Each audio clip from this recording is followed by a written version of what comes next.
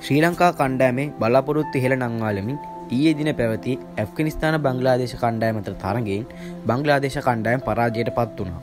පළමුුව පන්දුවට පහරදුන් බංගලාදේශ කණ්ඩෑම පන්දුවාර විස් අවසානී කඩලු හතක් දැවී ලකුණු එකසේ විසි අටක් ලබාගත්තා. පිළිතුරීම ක්‍රීඩා කර ඇෆ්ගනිස්ථාන කණ්ඩෑම පන්දුවාර දහටයි පන්දු තුනක් අවසානයේ කඩ්ලු තුනක් දැවී ලකුණු එකසි තිස්සකල් ලබාගෙන ජයග්‍රහහි ලකුණුසේ මව පසු කර ගියා. ඒ අනුව ඇෆ්ගනිස්ථාන කණ්ඩෑම ඊයේ දිනේ සුපිරි හතර දිනාගේ වටේට සුදුසුකම් ලැබවා.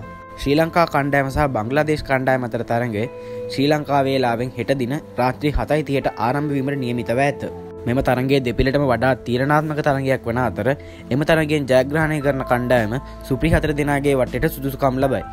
මේ අනුව හෙට දින ශ්‍රී ලංකා කණ්ඩායමේ යම් යම් වෙනස්වීමක් සිදුවීමට ඇති බව අභ්‍යන්තර ආරංචි මාර්ග පවසනවා. ශ්‍රී ලංකා වේගපන්දු යවන මතිශ පතිරෙන වෙනුවට අසිත පනාන්දු හෙට දින ක්‍රීඩා කිරීමට බොහෝ ඉඩකඩ ඇත.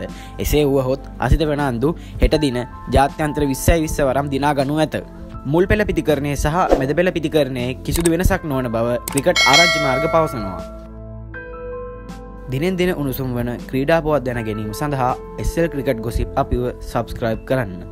නැවතත් උණුසුම් ක්‍රීඩාපෝතක් සමගින් හමුවමු ඔබට සුබදවසක්